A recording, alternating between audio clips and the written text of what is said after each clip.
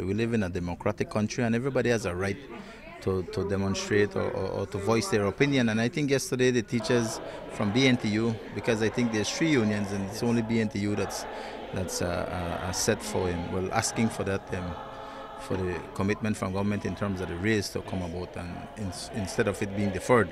And I think they have a right to voice their, their opinion. Um, this is why we, are, we live in Belize, a free and democratic country. Uh, uh, now the question is, is it right that what they are doing or not? You know, and I think that that is all dependent on you as a person, how you see it. I, as a minister of government, I think that, um, of course, I'd like them to consider for the deferment, you know, like the other unions, but um, everybody has their own opinions. At the end of the day, I think that the government is trying to look at how we can, in terms of of ensuring that we don't raise taxes, etc., to the best of our abilities.